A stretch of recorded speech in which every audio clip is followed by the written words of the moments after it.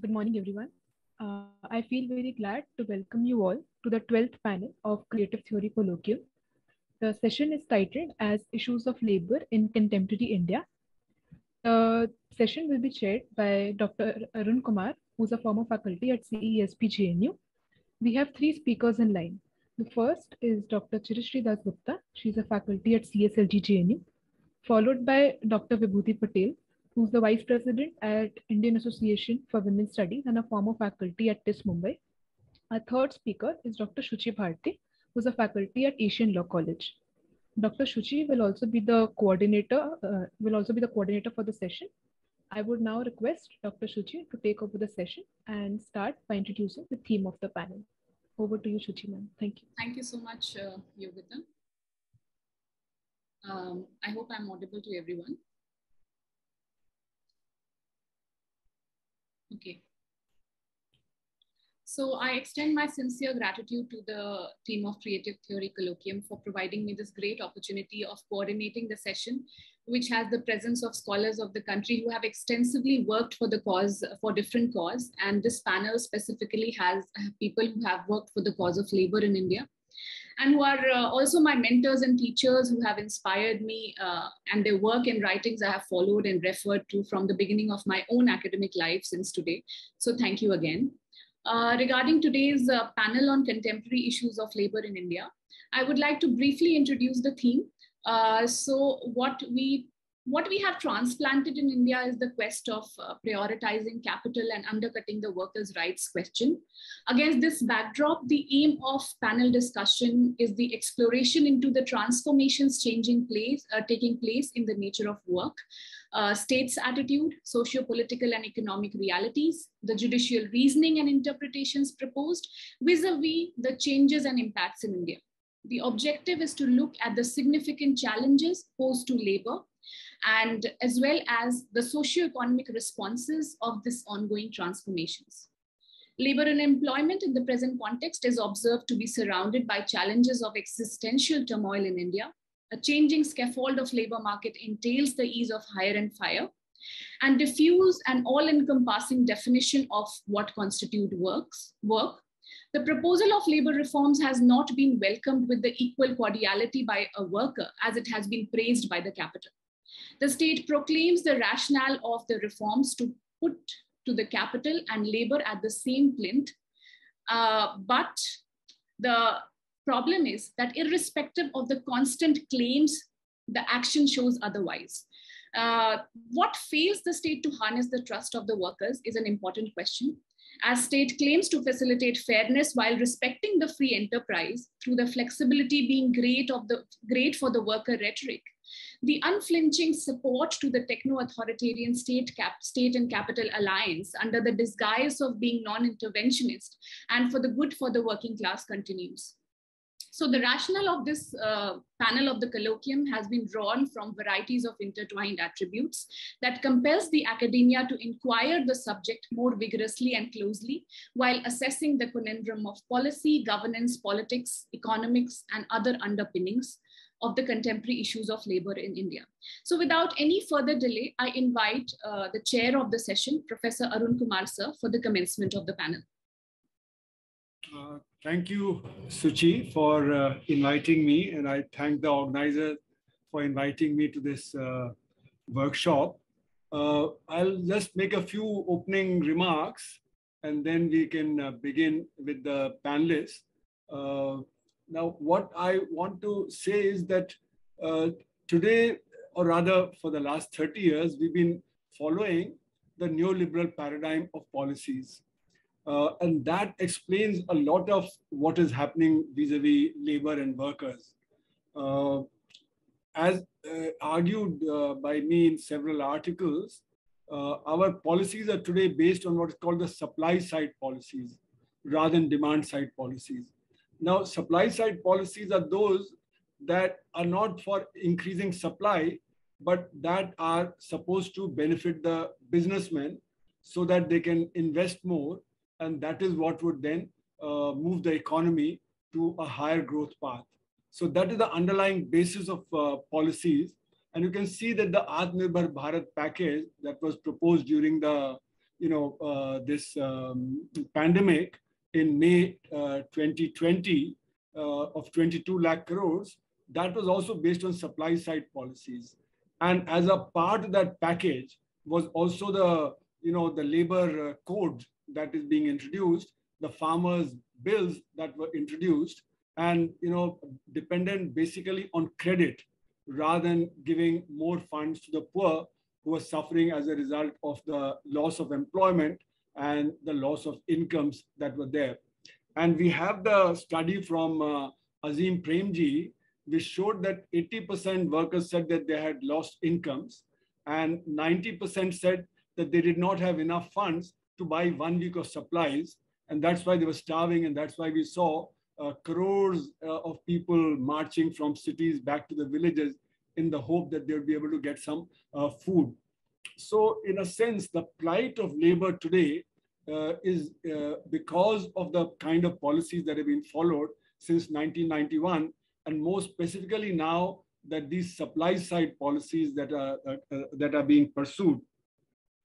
Now, as the World Bank had said, you know, the policies need to be market friendly. Uh, so these are what are called market friendly. So it's not that the state intervention is declined, but state intervention, which was in favor of the poor and uh, others, uh, now it is exclusively in favor of capital. Uh, so this is a, a, change that came with the 1991 policies, which was supposed to be market-friendly state intervention. Uh, now, the other thing that we need to also look at is that the position of labor has declined all over the world. Uh, and the reason for that is that capital has become dominant given its mobility.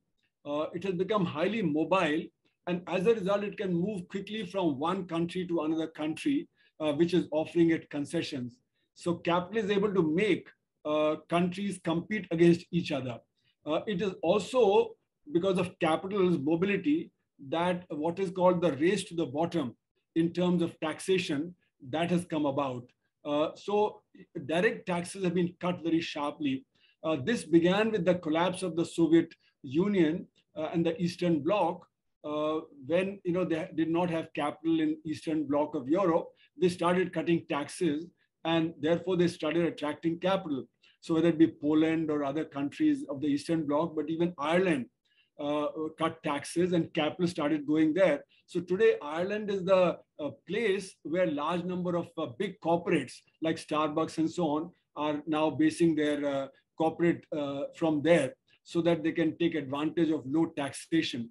This forced other countries, Britain, Germany, France, etc., also to cut taxes. And that had an impact on the public goods provision, whether it be health, education, and so on. Uh, that has also penetrated into the uh, developing world because uh, everybody is competing for capital. So today's financial architecture uh, is what is being used by capital to strengthen itself, and that is weakening labor. So in the IT sector, for instance, uh, you don't have trade unions at all. But more than that, in India, the unorganized sector, which employs 94% of the workforce, did not have you know uh, mobilization as uh, you know trade unions, and they could not bargain for their rights. So it's a very tiny section in India which was actually able to mobilize and ask for their rights. So the weakness was already there. And I call the unorganized sector the reserve army of labor, which actually keeps the organized sector labor also very weak because the salary differentials between the organized and the unorganized sector can be anywhere uh, uh, five times to 10 times. So if you lose a job in the organized sector, you'll slip into the unorganized sector at you know 20% or 10% of the salary that you were getting earlier. So you don't want to lose that position. And that keeps the organized sector also uh, weak uh, in the Indian context.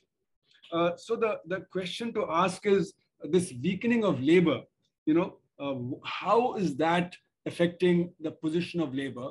And that weakening is continuing further with the labor code that is proposed uh, by the government, uh, which the labor unions are opposing but it doesn't appear that it is having much of an effect because state after state is uh, adopting these labor codes and now you know it might be adopted uh, uh, in the country as a whole so the difficulties in mobilization of the unorganized sector is something that the organized sector needs to take care of because without that, the organized sector also remains weak. Uh, another factor that needs to be considered in all this is, uh, apart from the international finance capital and its mobility, the technology. Uh, there's a rapid development in technology which is displacing labor. Uh, so, for instance, you have you know autonomous vehicles being uh, uh, experimented with and very likely to come in within the next few years, which will displace you know millions of truck drivers all over the world. Uh, not that it's, it, it, will get implemented everywhere uh, equally fast, but the potential threat is there. Uh, similarly, in India, we have seen that our neighborhood uh, stores are being displaced by uh, the e-commerce. You know, before the pandemic, a large number of people used to go to the stores uh, of the middle class. तेरी पाकरी छूट तेरी माँ की छूट अरे पाकरी छूट तेरी माँ की छूट तो तो तेरी पाकरी छूट अरे he should be removed. He should be removed immediately and controlled. and do not allow anyone who is not known. I think uh, general keep them in the waiting room. Yeah, keep them in the waiting room.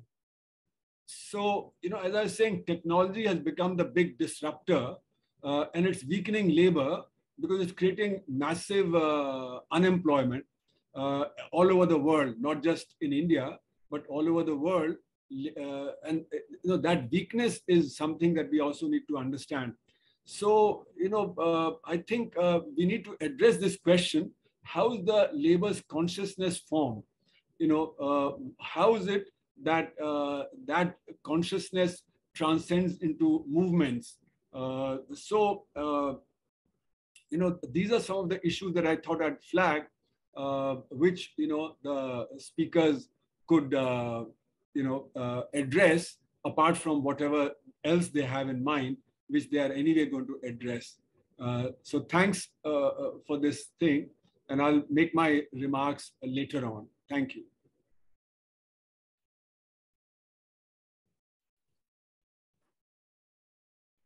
Thank you so much, uh, sir, for the enlightening opening remarks.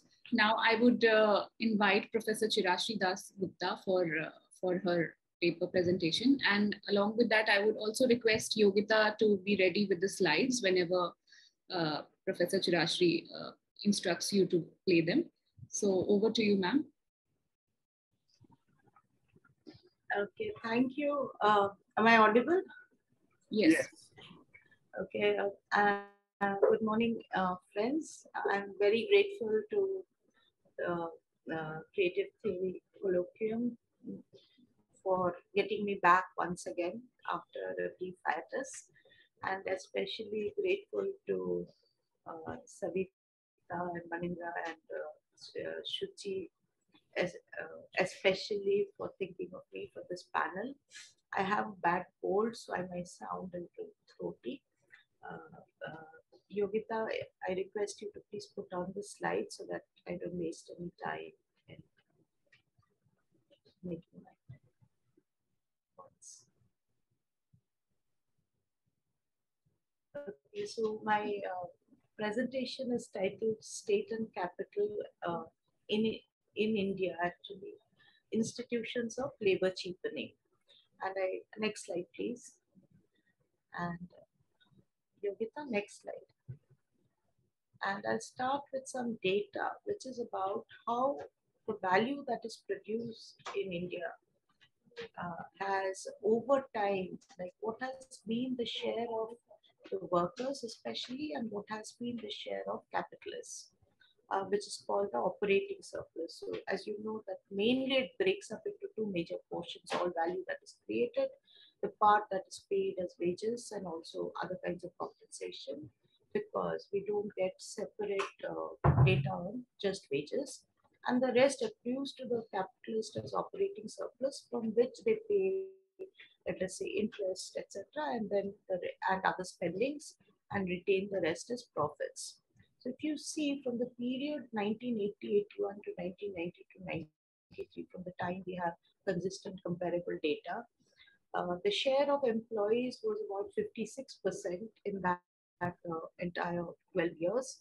And the share of employers was about 44%. But right after liberalization, within two, three years, uh, uh, 19, between 1993, 94 to 1999, 2000, the share of compensation of employees came down to 35%. Between 2004, 5 to 2011, 12 came down further to just 30%. And then uh, increased a little bit as far as the private organ, uh, corporations, which is like the organized sector is concerned, to about 36%. And consistently, what you can see is that the share of the whether it's the organized public sector or where it is private corporations, irrespective of series, there has been a huge reversal in terms of the, uh, uh, the, the share of wages and compensation decline. Fine now? Yeah, it's uh, absolutely. Uh, it's coming now. Yeah, it's absolutely fine. Uh, so please go to the next slide. So the point I was making is that, as you can see, that within three years after the big liberalization of 90, uh, 91, the compensation of employees drastically, the percentage share went down. Uh, there was a reversal. And if you take the decadal thing from 2011 12 to 2019 20 overall, like uh, in the economy, then the workers' share is come down to about 38%, while the employer's share is around 62%. Okay? So this reversal in some ways actually has a very important dimension in terms of the, uh, the points that were made by Professor Arun Kumar in terms uh, of about what has been happening in the last three decades as far as workers are concerned. That out of the value that is created in the economy, the share of workers is consistently uh, drastically declined and then remained consistent at a level which is like uh, uh, almost half of what it used to be till 1992-93. Next slide, please. Uh, uh, we can skip this. I've already talked about it, the next one.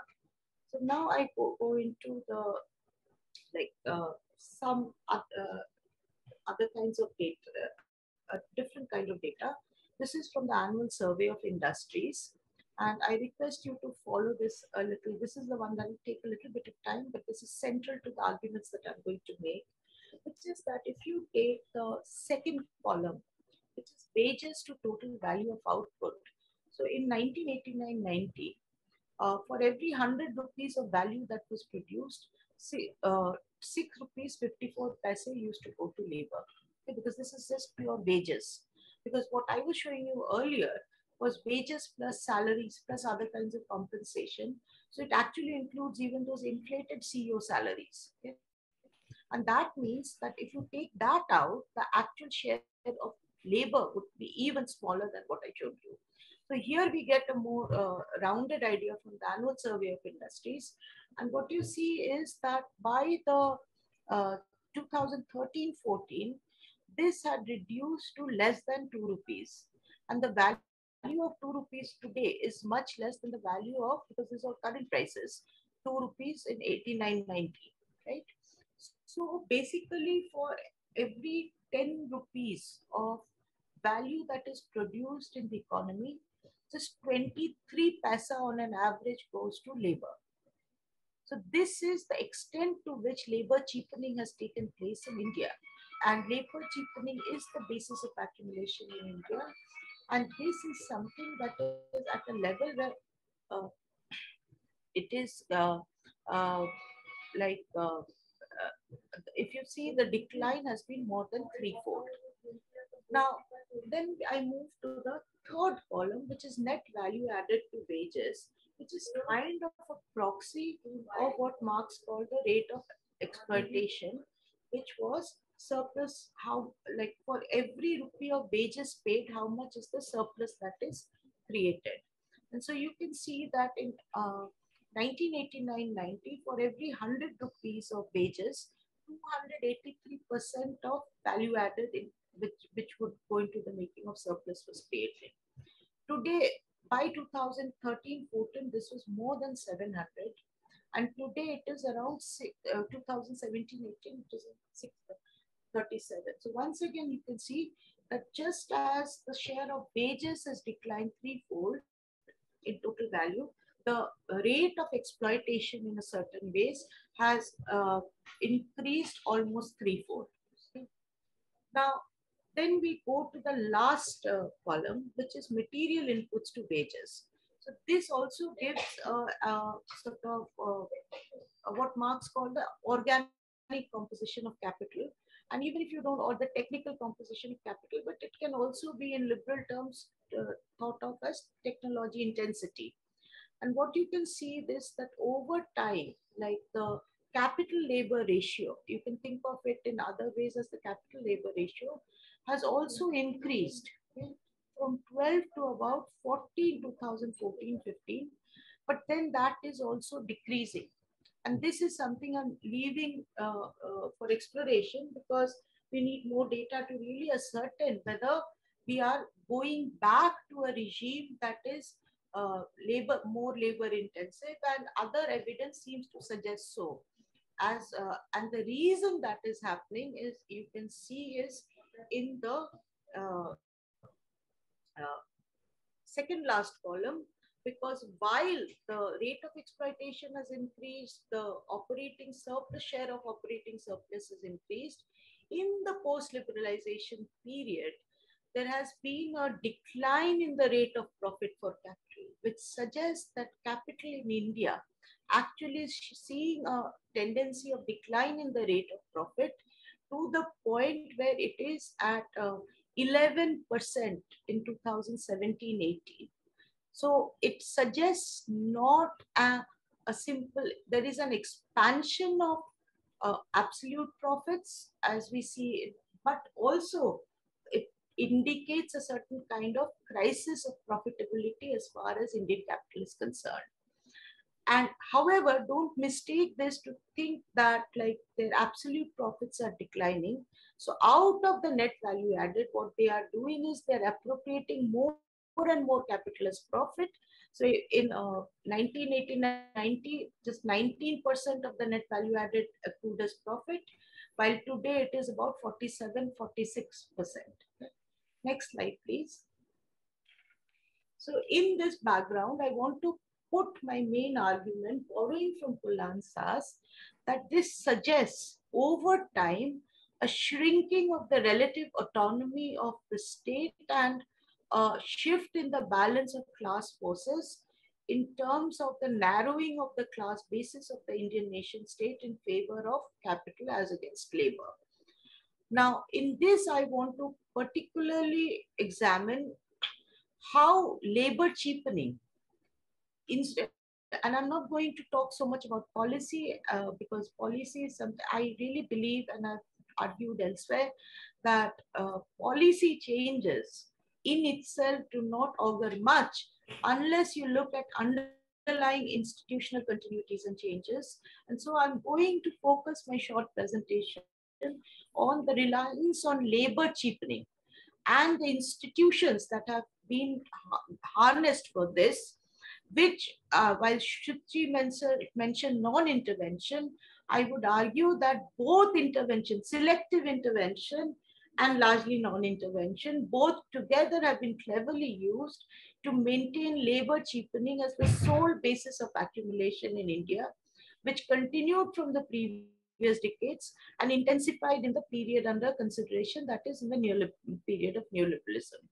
And this is particularly true of the last decade, and I want to make certain uh, additional points about that as we go along.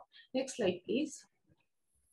So the first uh, legal institution that I want to bring to your notice is the Industrial Disputes Act of 1947, which was adopted in October 1947, two months after independence by the Constituent Assembly, and in which basically all employer employee uh, relations, regardless of what the workplace was. So from domestic workers to workers in places of worship, to, to factory workers, to service sector workers, everybody uh, was covered by the Industrial Disputes Act, which gave not only certain kinds of rights uh, to workers, but also this is the most universal form of workers' right that was ever given in India. But the chambers of commerce like FICCI, etc., right from the beginning started opposing this. And through a series of events, which I'm, I, for lack of time, I don't want to go into, but if you want to know, we can later in the discussion bring those up. By 1956, FICCI created enormous pressure on the government and the government of the day. And by 1956, the new Industrial Disputes Act was brought in, which defined the worker through the workplace. And the workplace is defined by a certain size of factory with a certain capacity of horsepower. And accordingly, the workers was defined. So essentially, it meant that male uh, factory workers in certain kinds of not even micro or small enterprises, but certain bigger factories. And this is how informality was institutionalized in India, okay? right in the first decade after independence. And so this idea that informalization has increased is true. But if you look at at independence, the ratio between formal and informal was 40 is to 60. But today that is, as you know, like 5 is to 95. And the institutionalization of this particular uh, way of progress informal, informality as the dominant form of labor deployment is something that was institutionalized right after independence.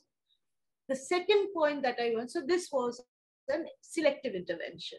The second point is the non-intervention, which is uh, the graded hierarchy of labor that existed on the basis of caste, the, uh, the, uh, the co-constitution of caste, patriarchy, and class was something that was kept intact without any kind of so so while untouchability became a crime but caste system itself was not criminalized right? And so basically the caste and patriarchy as the basis of a grade maintaining what ambedkar called the graded hierarchy. I call it the graded hierarchy of labor in particularly social uh, reproduction was maintained to keep labor cheap. And I want to bring just two examples of like I uh, I did a survey between 2018 and uh, to 2020 till the uh, about the first month of the pandemic of uh, about uh, 2000 1800 domestic workers and 300 sanitation workers in various institutions as well as home deployment and uh, uh, what we find is that three things. The first is the huge difference between the in compensation, wage or income compensation between in institutions between the top, like take uh, JNU, where what I found was the average salary of the top player of the uh, that is the faculty members, the average salary across uh, positions is about 1 lakh uh, 20,000, while that of the uh, sanitation workers were uh, 3,000 to 6,000. So this level of inequality is something, uh, similarly for domestic workers, what I found was uh, not more than 4% of the household income is spent on the uh, wages paid to domestic workers. This can only be explained, and I've argued once again in my uh, work elsewhere, that is based on the definition of skills, which uh, is defined by the state through the national skills, uh, uh the definition of skills and uh, hierarchization of skills, which is based on a pure Brahminical distinction between mental and manual labor. Then the third is that I want to, uh, the second is how unpaid work is mobilized through paid work. So two examples, domestic workers are actually uh, uh, contracted for piecework, cleaning, cooking, uh, uh, uh, washing utensils. And there is a, for each kind of work, there is a certain monthly rate. However, once they come into the house, they are made to do many other jobs, odd jobs. Which are not part of that unofficial contract. So from watering plants to uh, mind, child care, like uh, holding the baby, looking after the baby, to making tea, etc. Many things which are actually unpaid work mobilized through paid work. Okay? Uh, so there is a continuum between paid and unpaid work. Similarly, for sanitation workers in institutions, like they are mobilized at odd job persons. So they just don't do sanitation work. So when there are events, they serve, they are made to serve tea, they are made to pull furniture, made part of the organizing thing, and all of this once again is unpaid labor.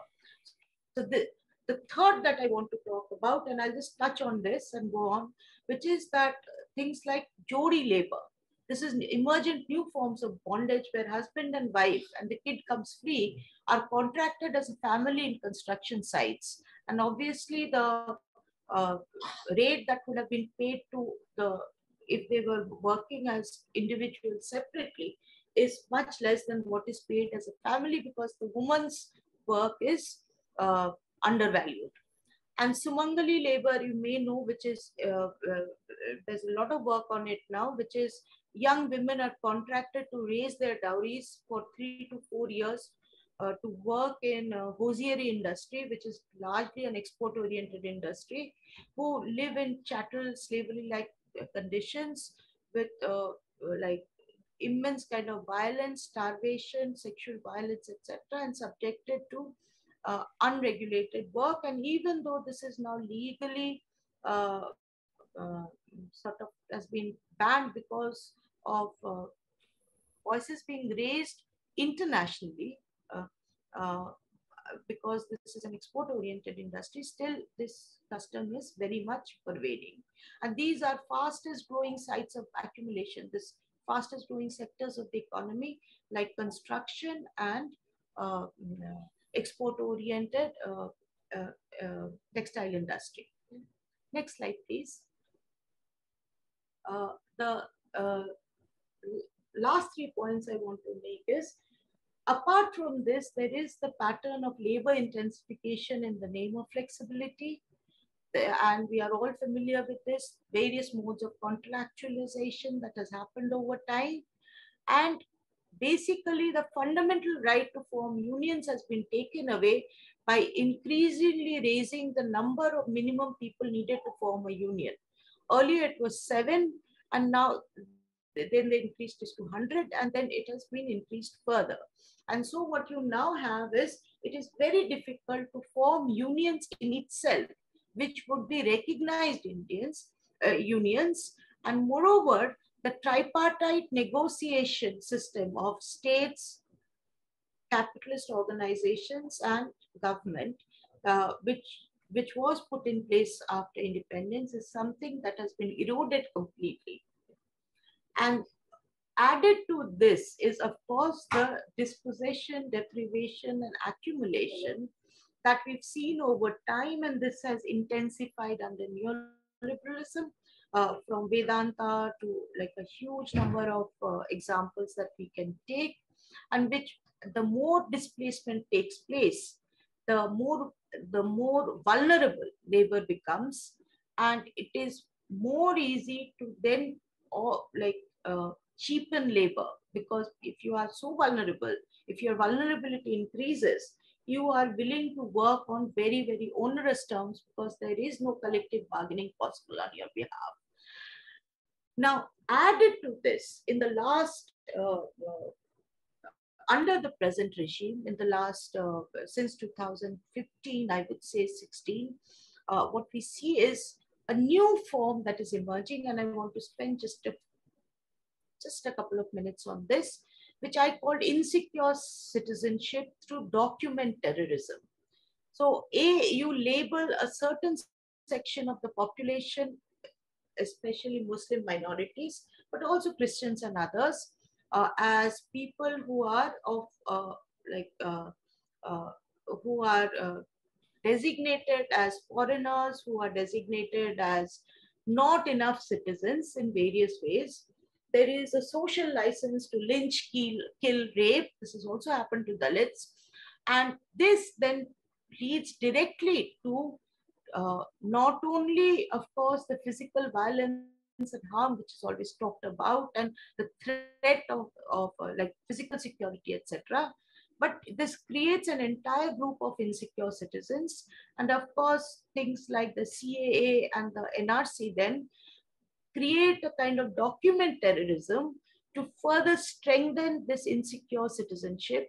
And if you look at the, uh, if you take parallels from what happened to Mexicans and Latinos, for example, in the USA, it is similar that you keep people so insecure as citizens that they can't claim even citizenship rights, leave alone labor rights.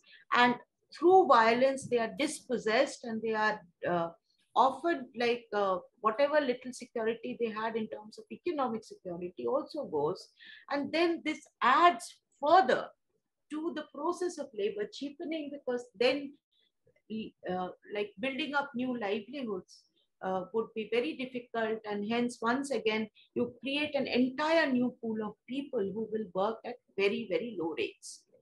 So all of these institutional processes actually shows that this entire project is not merely a polit political it is a political project but it is a political project in favor of big capital to facilitate labor cheapening by deploying caste and patriarchy and now religion as well.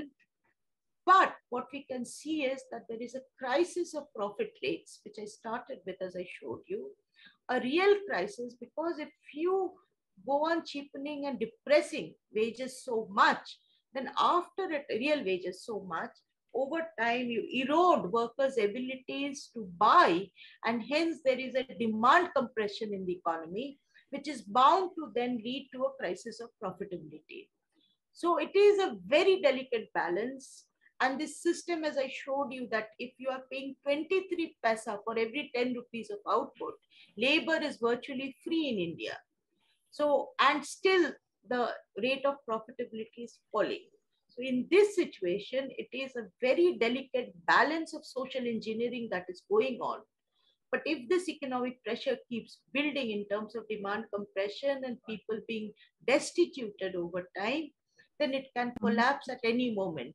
And so this building towards that rupture to really bring about that time where this institutional basis of accumulation can be ruptured from below in terms of a more favorable conditions for labor is what uh, I think all of us and the social and labor movements and political movements, progressive political movements need to work for. Thank you. Thank you so much, uh, ma'am. And now I would uh, request Professor Vibhuti Patel to uh, kindly begin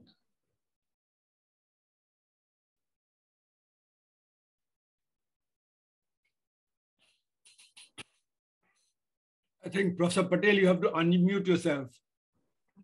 First of all, I would like to thank Professor uh, Savita Singh and Dr. Yogita Agrawal uh, for this opportunity to be part of uh, an esteemed panel curated by Creative Theory Colloquium 2022 and organized by Creative Theory Association with International uh, Herbert Marcuse Society. I have a PowerPoint presentation and I would like the right to share my PPT. Uh, I'm disabled to share the PPT. Uh, will we will enable in one minute. Yeah. So, so my presentation uh, focuses on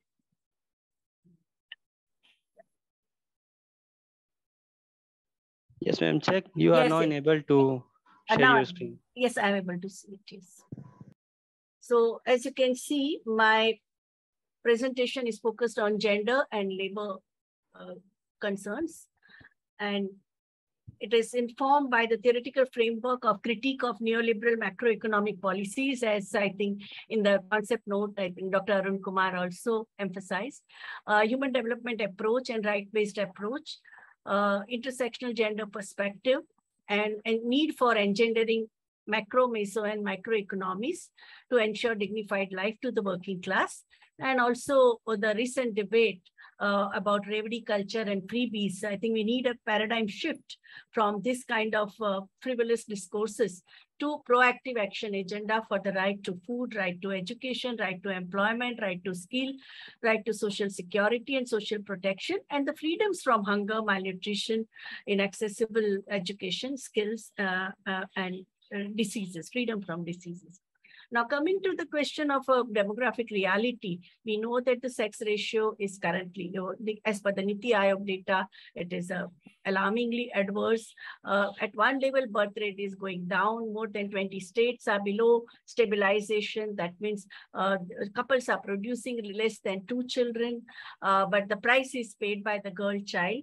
And uh, we also have a major uh, challenges of the reproductive health because of two years of pandemic all the reproductive health services were uh, dismantled and uh, what we need is a uh, and a previous session as it showed that how public health system has been uh, attacked severely with the neoliberal influence in the healthcare sector now, the uh, this graph also told, shows us that both birth rate and death rate have gone down in India.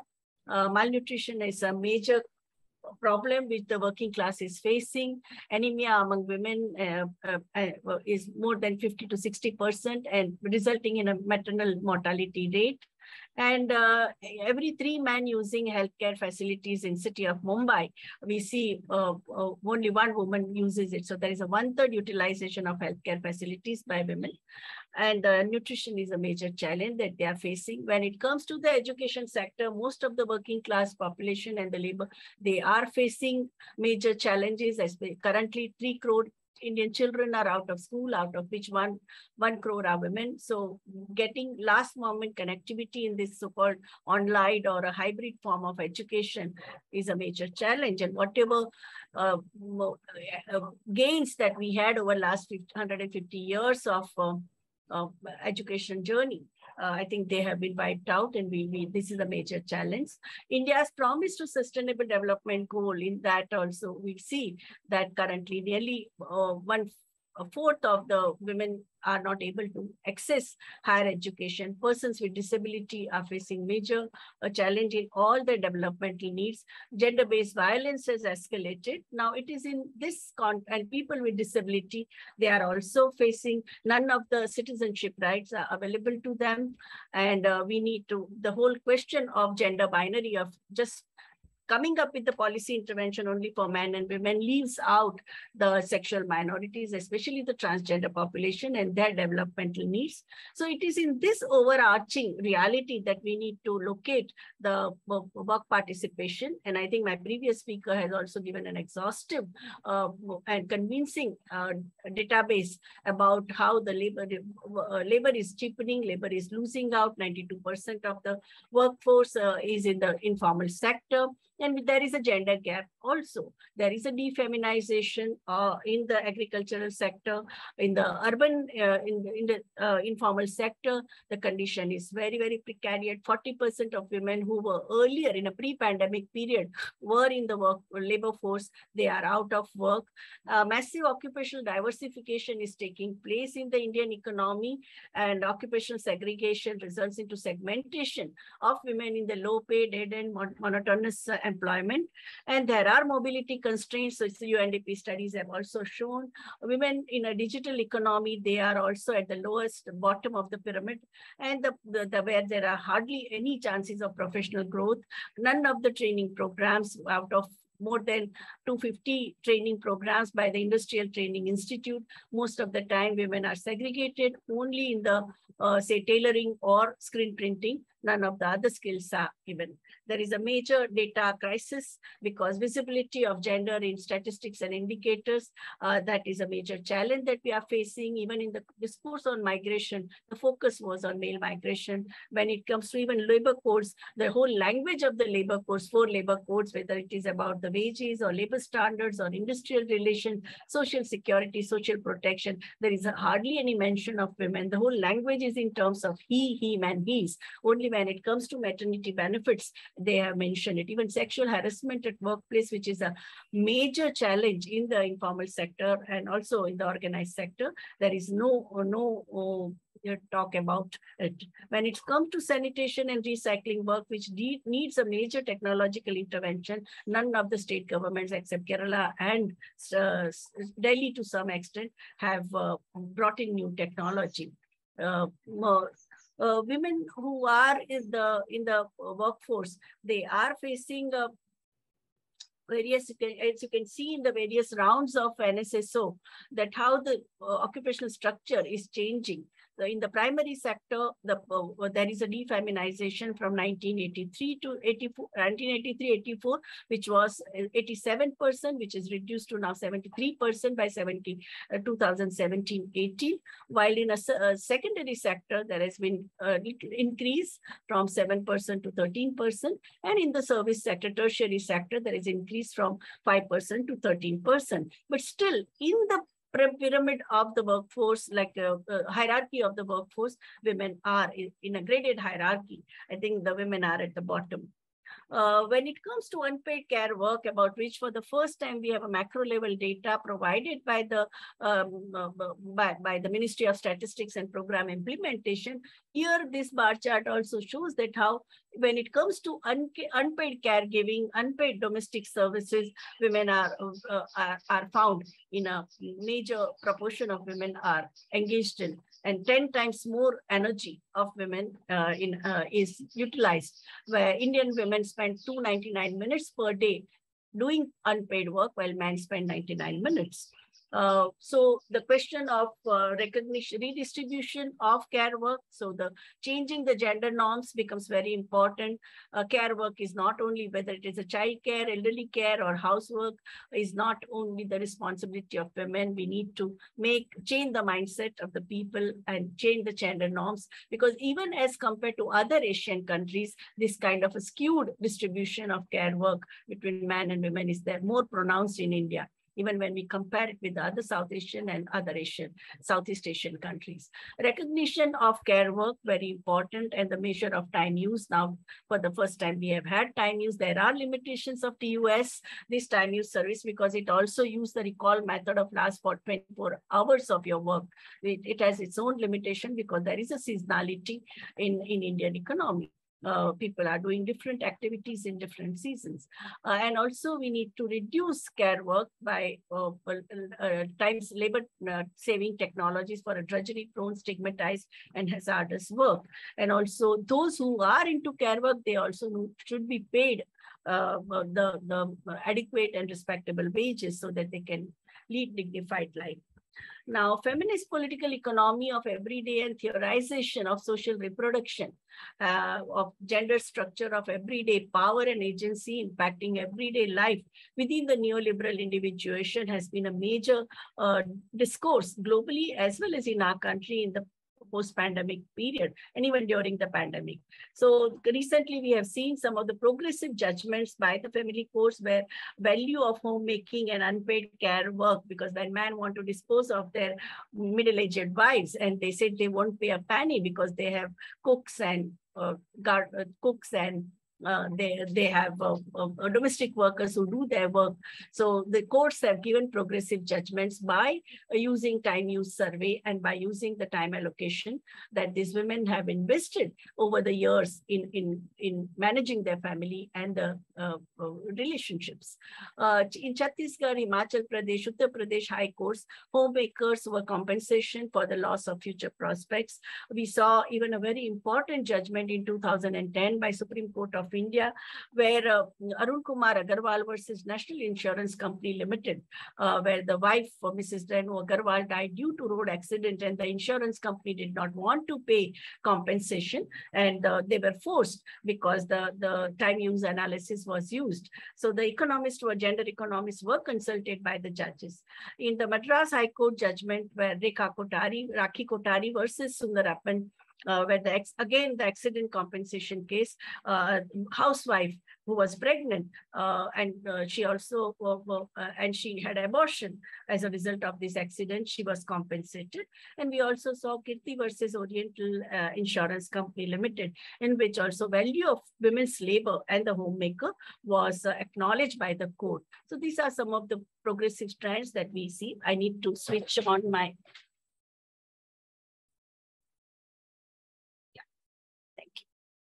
my battery was good.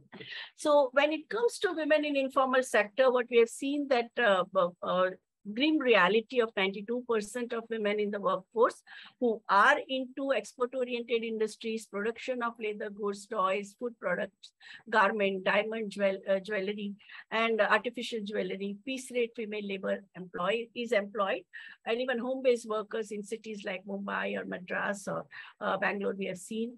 They are, uh, and there are women who are working from the sweatshop. There was a major struggle in Tamil Nadu and Kerala for these women working in the shops, uh, uh, working in the as a sales girl, who were not even allowed to sit there. They had to work for 12 hours a day, but they were not even given bench or a stool to sit. So there, there, there was a big, uh, they filed public interest litigation. These young women workers got organized and they, they uh, won the case in the court. And now they are, now they have attain the right to sit. Imagine these are the sim, uh, uh, simple uh, things which which you which any worker would we would take it for granted that when there are no customers you would be allowed to sit, but that doesn't happen.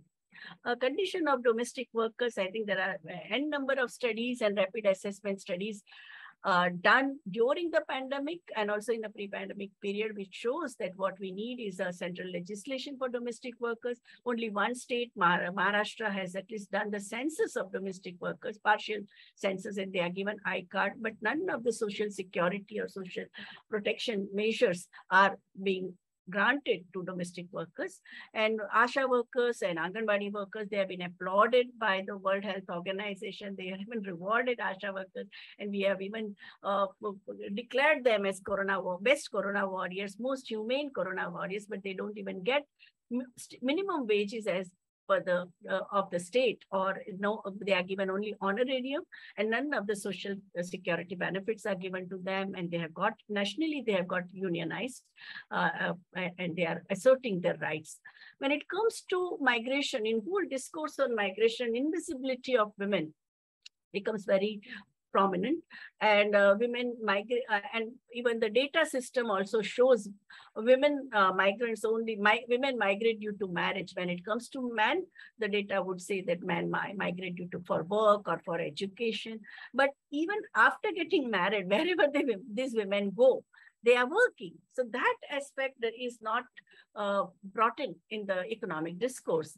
And now there are women study scholars who are showing that what were they doing at the native place and what are they doing at the destination place, the profile of their work.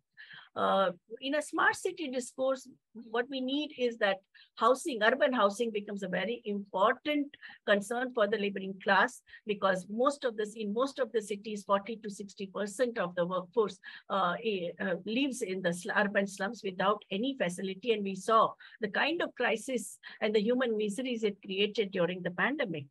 As per 2011 census, in, we had 30.9 million women as migrant workers. That means 3 crore women who are migrant, but they were classified, 85% of them were classified as migrated due to marriage. But uh, now, the, uh, the what do they do after marriage?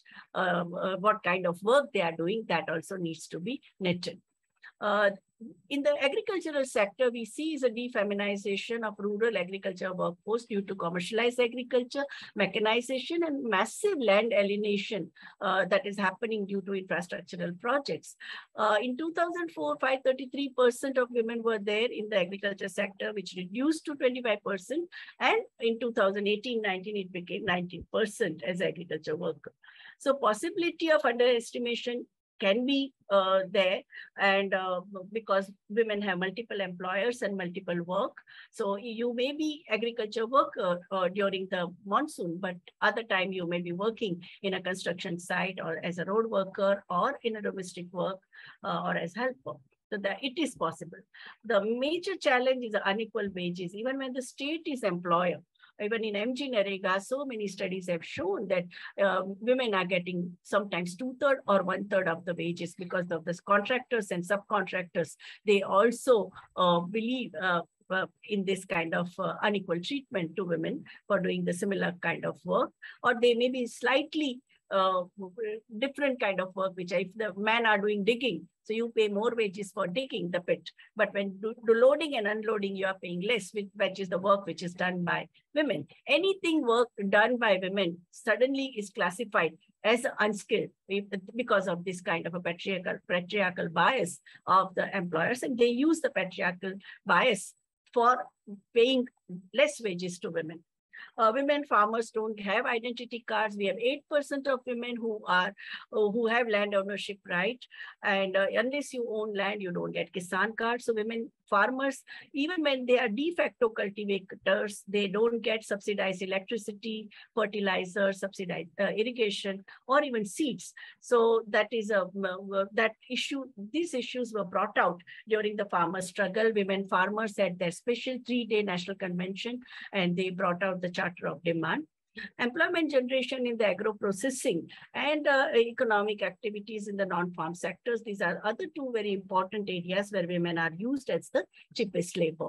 When it comes to tribal uh, population, 11% of uh, laboring class is in the tribal area. They are based on, uh, their activities are based on forest-based economy, and they do collection of forest produce, which contribute to nearly 3,000, 3,800 crores per annum to the GDP of our country. But still, their, their rights are not, uh, uh, none of their rights, whether as uh, workers or for social protection. In fact, the most deplorable condition of the workforce is in the tribal areas where uh, uh, they, they don't even have access to food or healthcare facilities or shelter or medicine or cash income.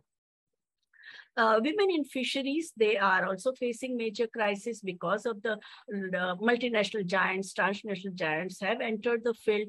Women who are the vendors and women who don't have any kind of technology. The fisher folks don't, uh, fisher women don't have any technology or a refrigeration facility. They are the one at the receiving end. The the shelf life of their products are also very limited.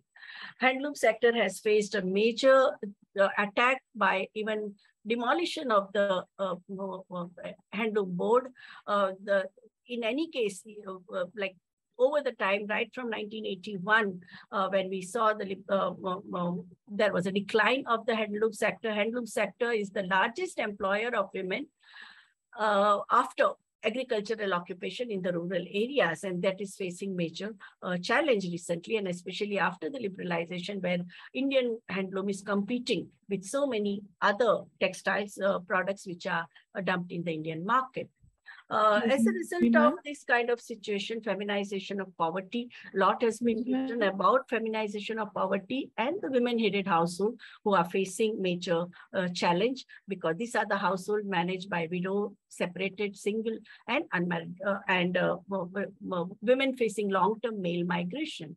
Uh, occupational health and safety is a major casualty uh, in, in, in the uh, informalization. So the problem uh, and also problems of women vendors, uh, waste recycling workers is very deplorable. Safety of women at workplace, I think that is, we have a law, 2013 law, but nothing is happening. When it comes to the skill, skill India, Make in India, Startup India, Atmanirbhar India, where, where women are completely marginalized and there is a demand by the gender economists that at least 30% of the resources in these schemes, flagship schemes should be. Excuse me, ma'am. Yeah, I'm completing. Now we are talking about the future of work, gig economy, platform-based economy, temping, automation, massive automation, and robo or um, application of robo in the manufacturing sector, artificial intelligence in service sector. I think in this context, women are the major losers because they are they, they are quote unquote not job ready as per Niti Aayog. And um, um, my previous speakers have also sp spoken about the labor codes, uh, that how they are detrimental to the interest of women. We are facing major challenge in terms of gender pay gap, sexual harassment at workplace, erosion of labor standards evolved by the decent work concept of ILO, uh, occupational health uh, hazards, hire and fire policy in favor of uh, employer. More than 12 states have started implementing labor codes and they have given up labor standards of eight hours of work, eight hours of leisure, and eight hours of rest. Uh, as against that, they are demanding 12 to 16 hours of work. There are so many shop floor level struggles uh, happening, but nothing media is not even, there is a complete media uh, blackout and invisibilization of women workers. So it is very important that now we need to uh, have a gender responsive transformative agenda for gender equality. Gender economists are asking for gender, gender responsive budgeting to address the issues of uh, gender gaps in the workforce. And we need important visibility of gender in statistics and indicators, uh, financial allocation for gender equality, affirmative action enabling work environment and protective legislations which have been won over last 150 years of collective struggle by the working class 48 central legislations and 200 state specific legislation we have to safeguard them we have to fight for them and boost the local and uh, uh, local economies and gender mainstreaming in all flagship programs of the state and non-state ventures we have to strive for so these are some of the references I have used for my PPT. And thank you very much for the opportunity. Thank you so much, Professor Patel. I would now like to request Dr. Shuchi Bharti to come in for a presentation. Uh, thank you so much, Yogita, and thank you so much, uh, Professor Patel, for such an elaborated and such important uh, aspects on labor to, to, you have presented. So uh, today, after hearing all of you, uh, my uh, presentation would just be an add-on reiterating the arguments that have been in the discourse already. So uh, the work I'm presenting uh, specifically focuses on the few aspects that have always been of paramount importance. And that also sort of pushes the creative theory fraternity to scrutinize the whole idea of projection in the domain of labor and employment you know how this uh, fine grained strategic psychological movement towards our understanding of what work and labor meant and what it means is now tweaked such proje- projections do play a very pivotal role in uh, state and capital partnership and influences the logical interpretations of the minds of the citizenry as well. Uh, if not always but many times. So i would uh, try to and make uh, make it possible to understand that how in the domain of labor and employment this psychological projection or the strategic manifestation of the definitions of how we understand work how we feel that uh, okay many of us are in, in, in influenced that hire and fire is fine for the growth etc etc we can take up these uh, important aspects um, in that is that could be expected, uh, which I am trying to portray right now. So these created projections on uh, on the contrary of actual happening influences or rather manipulates the de facto thinking and understanding process in the minds of people. So my focus would not be only about talking about the changing context of law, regulation, governance, or underlying institutions, but also how there have been strategic manifestation, not only at the level of state, but also at the international governance structure that totally metamorphosizes the thinking and believing uh, of multiple aspects of work, labor, and employment, such as what employment means to us, what being in precarious employment means, uh, and what about modern threats uh, to the workers, such as automation and de-skilling, feminization of work, and many other related aspects can come under this whole gambit of the projected strategic uh, manifestation, which I want to talk about. So uh, I would try to, uh, we are already going ahead of time, but I would try to stick to the time limit. And uh, my focus would be primarily now around few central points, understanding the strategic manifestation of how the state and international governance arena have defined and redefined the meaning and interpretation of work. Um, and there has also been a heavy re-regulatory activities happening that clearly paves way to the techno-authoritarian alliance between the state and capital. So which, what does this techno-authoritarian alliance do? it sort of disowns or vilifies the pro-collective and pro-protectionist ideology to be absolutely bad for the health and wealth of the nation. How being pro-labor is actually portrayed as anti-labor through this revised language, and it is being asserted not to be interest in the interest of the growth and sustainability of the labor as well.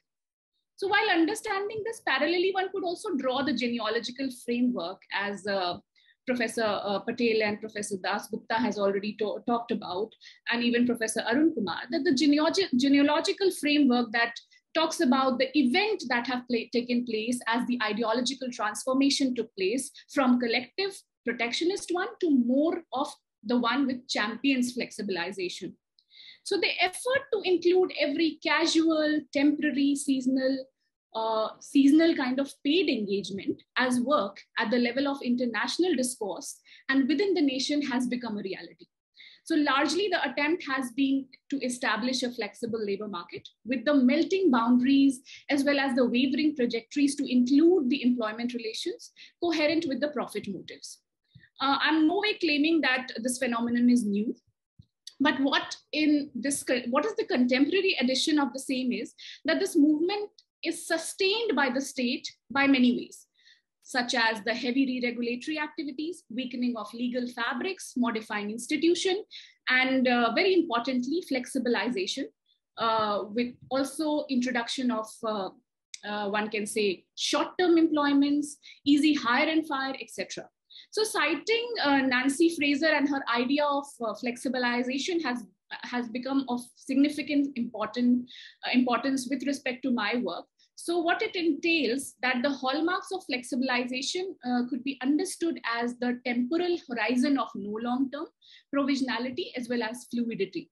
So once we look the employment relations and other related things through this lens, what we see that endorsing a non-standard and atypical form of employment um, policy has become normal as as normal as the formal employment relations. And a renewed recognition of informal employment is there, but with an add on to normalizing the uh, inherent pernicious component it entails. Okay, so uh, now bringing the focus on, uh, as I uh, said, the international categorization of non standard forms of employment. Uh, which has broad components such as temporary employment and uh, it may constitute fixed term employments, also um, on-call employment, casual nature of work, work done on daily basis, part-time basis, on-call basis, etc. So the international, the reasoning of the international governance structure like ILO uh, and the confirmation of non-standard employment relations are indeed a matter that needs to be debated. So what we have observed in the present times, according to the ILO and other such organizations, the growth of non-standard employments is somewhat they claim that it, it is a it is an outcome of multiple forces. It reflects changes in the world of work brought about by say globalization or social change. ILO also agrees at times that laws and policies have also encouraged the use of non-standard forms of employment, but merely by identifying non-standard forms of employment and categorizing the same in different forms, it seems the international governance structure is not only downplaying the issues of vulnerability and precarity attached to them, but in the process, it also justifies the existence and showing little intent to discuss about, say, abolition or replacement with the more protected forms of employment. And as we have witnessed that ILO has uh, mostly taken a moral high ground historically, at least on papers. So that's not even happening now. So international governance arena discusses about the gaps and gray areas of the law and policy that have provided fertile ground for the development of non-standard work arrangements, but does not indicate the need to check the proliferation of the same. While there is what we see is the global movement towards re-regulating the worker protective laws and establishment of uh, flexible regulatory measures.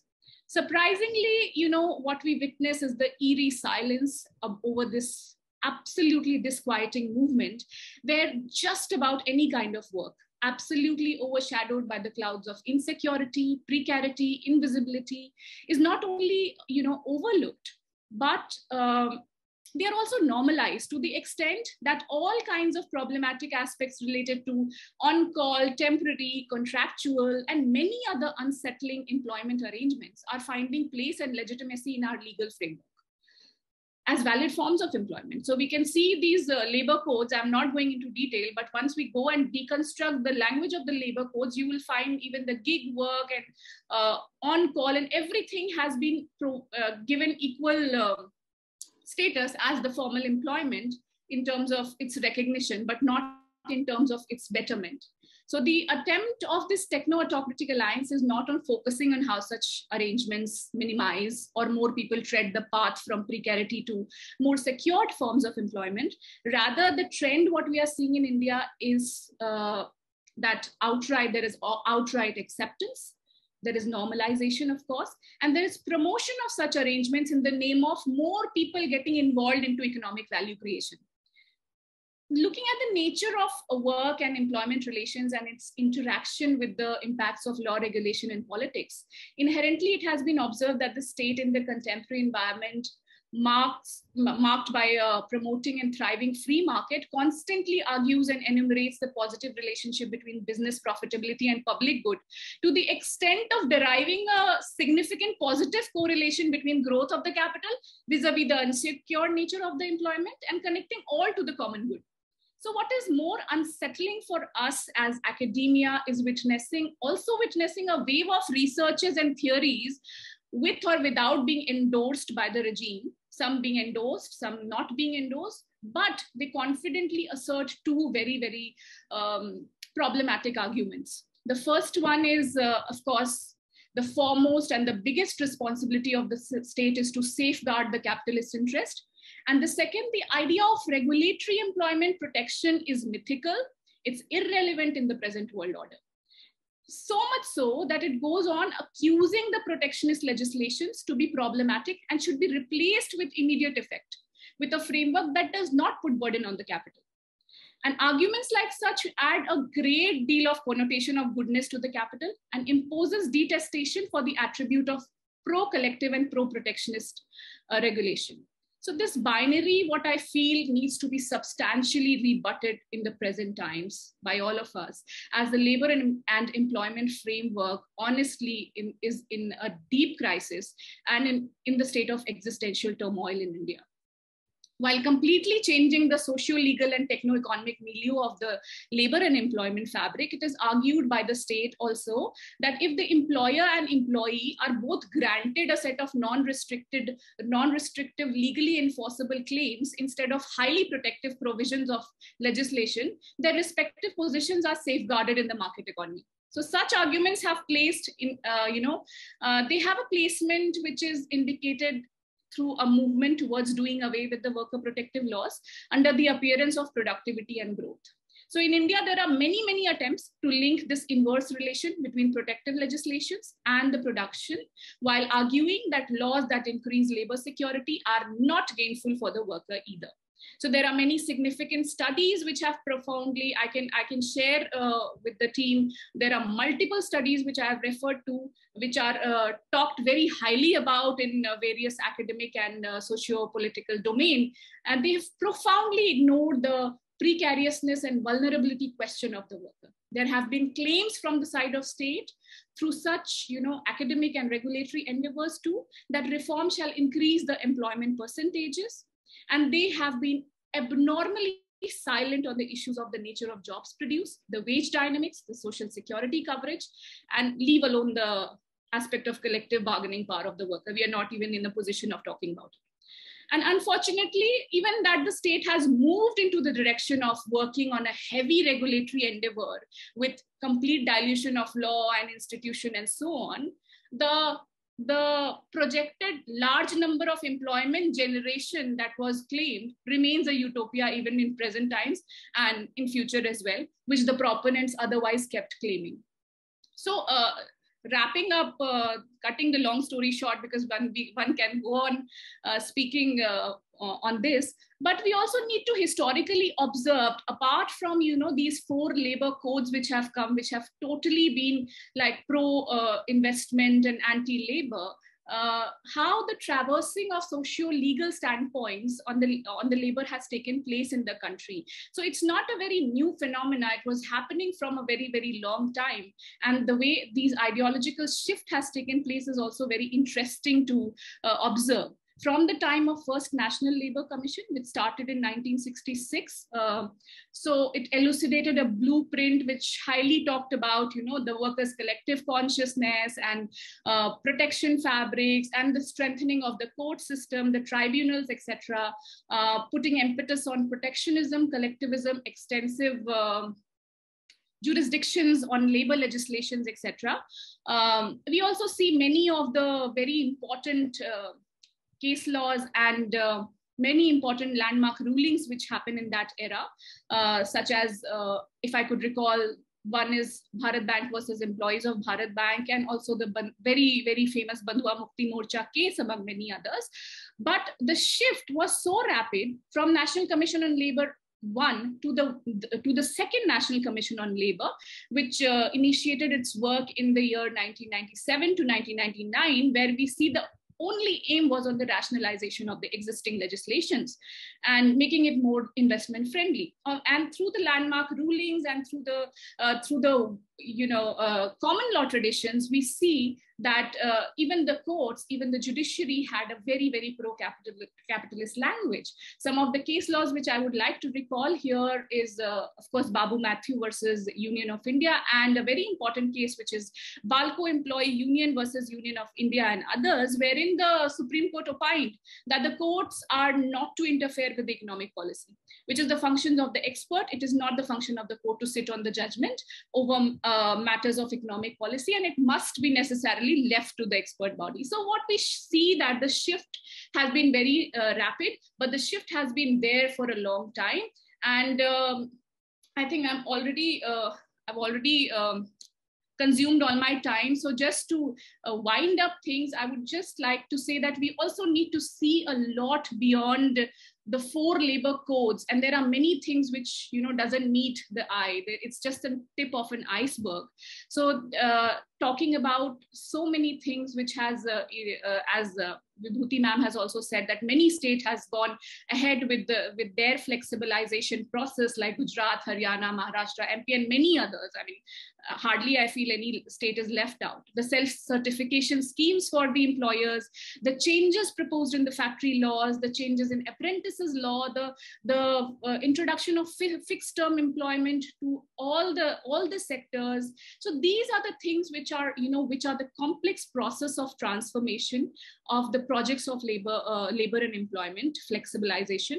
And, uh, you know, this also need, needs a more, you know, redefined and more uh, renewed approach for us as critical thinkers to understand it way beyond the, uh, you know, the neoliberal lens it is essential to acknowledge this hybrid uh, process of uh, re-regulation and decentered regulation and neoliberalization uh, through which these changes are proposed. So the underlying fact is that it works in diverse ways and uh, which extends and sustains it also. So the attempt of the critical theory has to be to work with multiplicity of methods and ideas and not not only to scrutinize but also to challenge these strategic manifestation of projections which has great destructive potential against the democratic setup and also the whole idea of the people centric approach. I had so many things to say and i yearn to talk on the subjects of uh, uh, where we need to deconstruct a strategic manifestation of project vis-a-vis actual realities. But i leave it at that and uh, we may just come back for the uh, more on discussion round. And I would like to end my presentation here. Uh, thank you so much, everyone.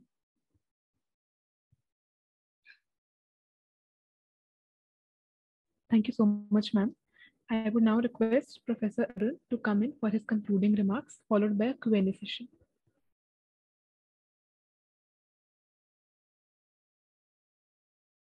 Given the time shortage, should we take some questions before I make a presentation or should I make the short, you know, comments and then do the question answer? What would be better?